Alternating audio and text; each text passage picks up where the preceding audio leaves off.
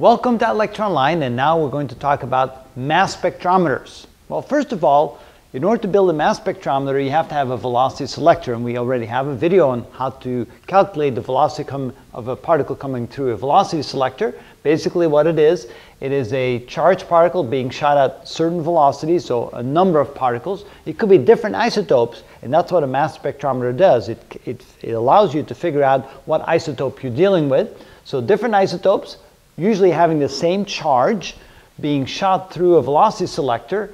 And notice that the electric field is adjusted in such a way that only particles with a certain velocity will make it out of the velocity selector. Then as they get into this region right here where they're no longer being affected by the electric field, the magnetic field will now take over and, allow, and cause the particles to move around in a circular path of various radii. That radius will depend upon the mass of those particles and that's how we determine, by measuring the radius, we can determine the mass of the particles. We'll show you in just a moment how to do that.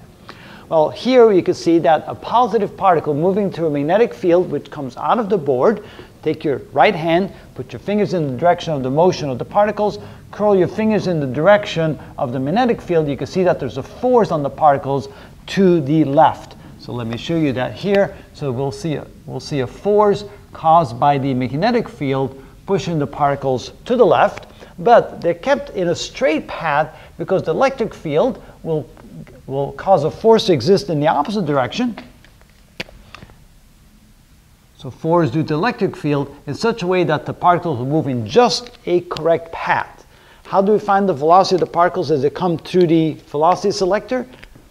Turns out that the velocity is equal to the ratio of the electric field divided by the magnetic field. And if the electric field here is 2 times 10 to the fifth volts per meter, and the magnetic field is 0.8 Teslas.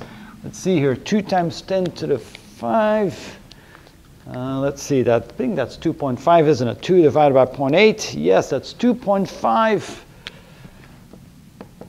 times 10 to the fifth meters per second. So that would be the velocity of the particles coming out of the velocity selector.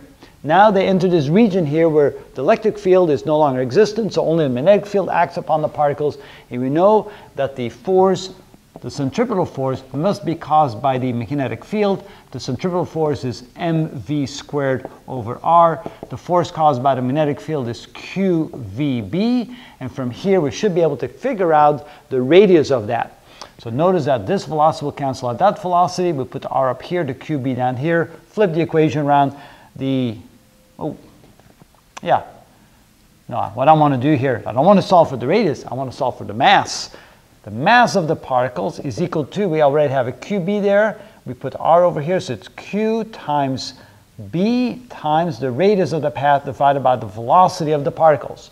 So now we have two radii, radius 1, radius 2, and let's see that they're equal to 3.26 and 6.52 millimeters. We know the strength of the magnetic field. We know the charge on each particle. We assume it's a single charge. And we know the velocity because we've used, we took the velocity selector and forced the velocity to be 2.5 times 10 to the fifth meters per second. So in the case of the first particle, m1, that's equal to q b r1 divided by the velocity. So 1.6 times 10 to the minus 19 coulombs, assuming that those are single charged particles. B is 0.8 Teslas. The radius, convert to meters, 0.00326 meters. And the whole thing divided by the velocity, 2.5 times 10 to the fifth meters per second.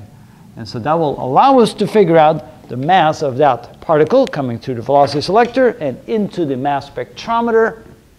So 1.6 1.6 e to the 19 minus times 0.8 times 0.00326 divided by 2.5 e to the fifth equals, and look at that, we have something equal to 1.67 times 10 to the minus 27 kilograms.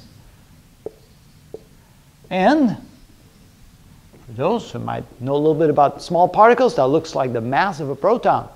All right, now let's try M2. M2 that is equal to uh, QBR2 divided by the velocity. So in this case, 1.6 times 10 to the minus 19. That would be coulombs times 0.8 Teslas times 0.00. It's double the radius, 652 meters, and the whole thing divided by the same velocity of 2.5 times 10 to the fifth meters per second. Notice that the velocity selector is not affected by the mass of the particles, only by the charge on the particles.